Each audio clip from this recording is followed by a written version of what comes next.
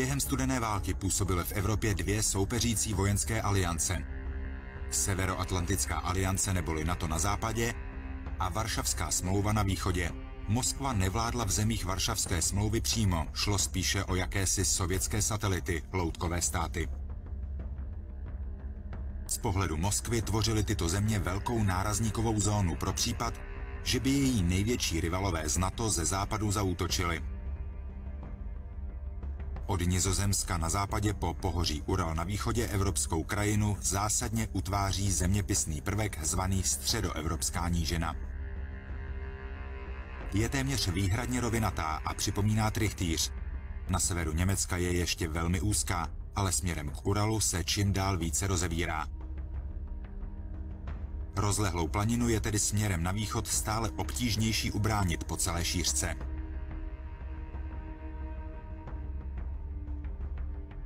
Kvůli tomu je z pohledu každého režimu v Moskvě bez ohledu na časové období či ideologii zcela zásadní rozšířit svůj vliv na západ, aby pokrýval co největší část této planiny a zúžil prostor, který musí Moskva bránit v případě konfliktu se západem. V době studené války ovládal moskevský režim největší část této roviny v dějinách. Moskva řídila přímo nebo zprostředkovaně území od Uralu až po východní Německo a celé širší ústí trichtýře měla pevně ve svých rukou. Rakousko a Finsko byly neutrální, Jugoslávie byla nezúčastněný komunistický stát. Takže jediné fronty, na kterých Moskva stála přímo proti NATO, byly Sudety, Černé moře a úzká sekce středoevropské nížiny ve středu Německa. Ty všechny bylo snadné bránit. Jakákoliv invaze do sovětské sféry by byla přes tyto geografické hranice opravdu obtížná. Ale situace se za 30 let od roku 1991 dramaticky změnila, a to v neprospěch Moskvy. Bývalé státy Varšavské smlouvy, východní Německo, Polsko, Československo, Maďarsko, Rumunsko a Bulharsko jsou dnes členy NATO. Stejně jako bývalé sovětské republiky Litva, Lotyšsko a Estonsko. Tyto země posunuly přední linii NATO výrazně dál na východ, do širšího úseku středoevropské nížiny. Zároveň byla Kaliningradská oblast, ruská exkláva, odstřižena od Běloruska tímto úsekem polsko-litevské hranice. Pokud vládnete Kremlu a stále věříte, že je NATO nepřátelská vojenská aliance, nebo by se nepřátelskou stát mohla, tato situace samozřejmě vypadá špatně. Ale ještě není vše ztraceno. Po rozpadu Sovětského svazu založilo mnoho nově nezávislých republik vlastní vojenskou alianci, zvanou Organizace smlouvy o kolektivní bezpečnosti, neboli OSKB. V Evropě do ní patří Rusko, Bělorusko a Arménie, ale Ukrajina ne. Ta zůstala neutrální oblastí mezi NATO na západě a OSKB na východě. Z tohoto hlediska je tedy jasně vidět, proč Moskva má a vždycky bude mít zásadní geopolitický zájem o Ukrajinu. Pokud bude Ukrajina pod vlivem Moskvy, posune se obraná linie OSKB a Ruska ke Karpatům na jeho západě, což zúží frontu na středoevropské nížině pouze na východní polskou hranici. Balské státy sice rovněž patří do této nížiny, ale jednotky OSKB by je snadno mohly obklíčit, kdyby rychle obsadili polsko-litevskou hranici mezi Kaliningradem a Běloruskem. Tím by po Baltí odřízli od zbytku NATO. Proto nejde o tak zásadní geopolitickou hrozbu. Naopak, pokud by se Ukrajina stala členem NATO, posunula by první linii NATO výrazně za Karpaty a podél širšího úseku středoevropské nížiny. Obraná linie Ruska by se náhle táhla 2300 kilometrů po otevřené planině, která se těžko brání. Nejvýchodnější část této fronty by se nacházela jen nějakých 300 kilometrů od Volgogradu. Pokud by byl obsazen, přišlo by Rusko o řeku Volhu a bylo by odstřiženo od ropy a plynu, které se ze zbytku země dopravují od Kaspického moře. K tomu už málem došlo za druhé světové války, kdy se toto město nazývalo Stalingrad. Bělorusko, zpřátelený a loajální stát OSKB, který je často považován za prodlouženou ruku Moskvy, by se navíc stal neudržitelným výběžkem, který vyčnívá hluboko do teritoria NATO. Byl by státy NATO obklopen ze tří stran. Přímá kontrola Ukrajiny Moskvou, a nebo alespoň její neutralita, je tedy pro obranu OSKB a Ruska zcela zásadní, pokud věříte, že je na to agresor, nebo by se jim mohlo v budoucnu stát.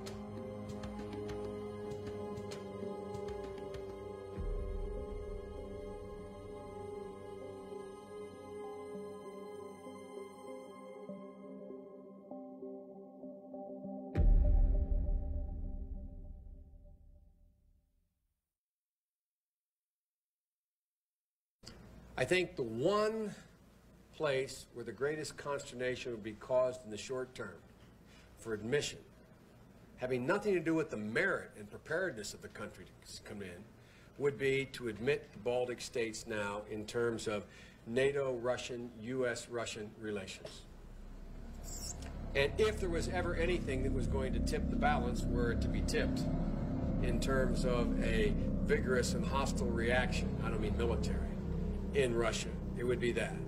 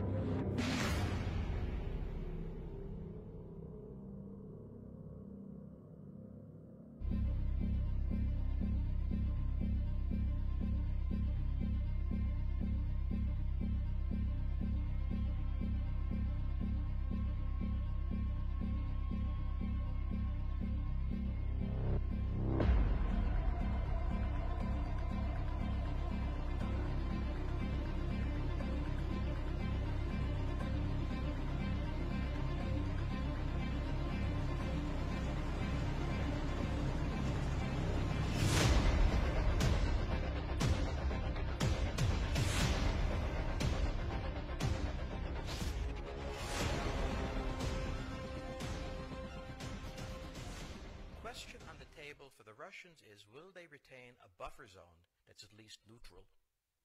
Or will the West penetrate so far in Ukraine that they're 70 miles away from Stalingrad and 300 miles away from Moscow? For Russia, the status of Ukraine is an existential threat.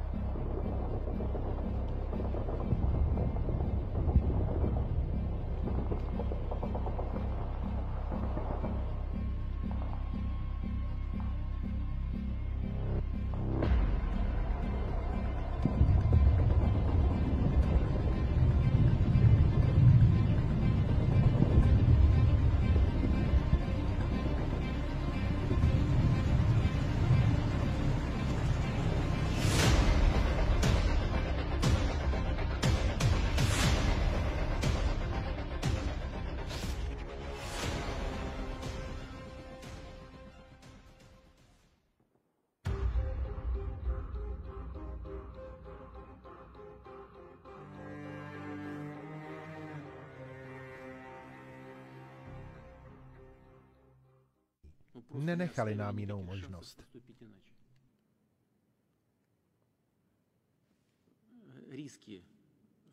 Vytvořili taková bezpečnostní rizika, že jsme nemohli reagovat jinak. Chci zdůraznit, že to bylo zoufalé opatření.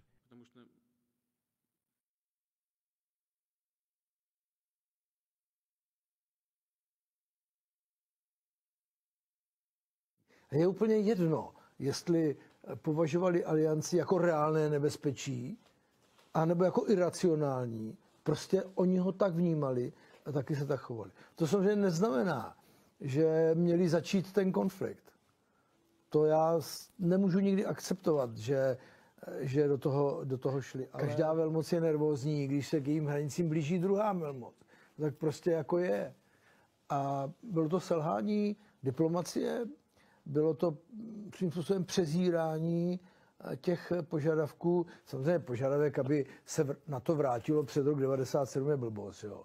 Ale požadavek, aby na Ukrajině nebyly a na jiných postsovětských republikách některé typy zbraní, je přece legitimní požadavek, jako pro boha, jako pro, proč ne, že jo? Proč je tam dáváme teda? Že? To je taky ten Rus si musí ptát otázku, když je sem aliance dává, tak nás evidentně považuje za nepřítele. To, že my jsme byli ti, kteří ten mezinárodní práv sami začali spochybňovat, že jsme provedli kroky, které vlastně znamenaly jeho rozbití. Jako to si pamatuju, že z ruských, z Putin to v jednom ze svých projevů říkal, že nám vůbec nedochází, co jsme v tom Kosovu udělali. Že my vůbec, my si vůbec neuvědomujeme, jakou věc, jaká věc se tam stala a že to všechno bude mít důsledky. Jako tohle jsme ale opravdu od Rusů opakovaně slyšeli. Od Putina, od Lavrova, jako, že za to zaplatíme. Takže jakoby ono v tom je jakási vnitřní logika strašná, jo, že vlastně, že ten Putin to nakonec udělal, protože nám to sliboval celou dobu a my jsme ho úplně vážně nebrali.